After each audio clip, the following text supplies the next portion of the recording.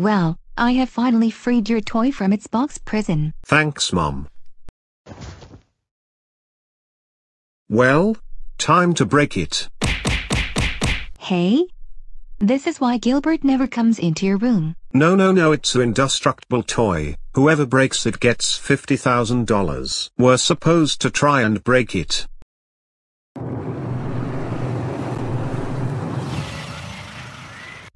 Oh, my bad. Oh, I bet Dad can break it. I'm Boris. I can obviously break some silly toy. Alright, do it. Hold on this thing is just tougher than I thought. Are you even trying? Let me know when you start. Did you just insult me? Well it's time to wash your mouth out with the wall. Thank you for that soothing event.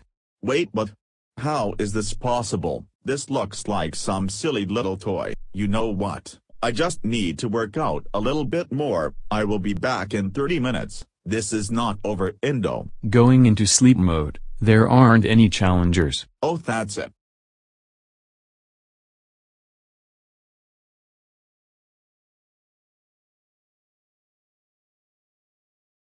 Come on Dad, you can do it. Come on, you are not old and weak. You are very old and weak.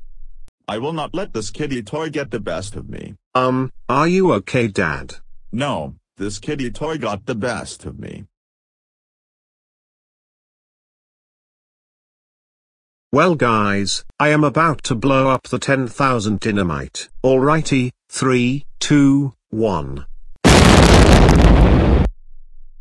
Yes, yes, yes, that stupid robot is broken. I do not want to hear that annoying voice ever again. Could somebody turn up the temperature out here?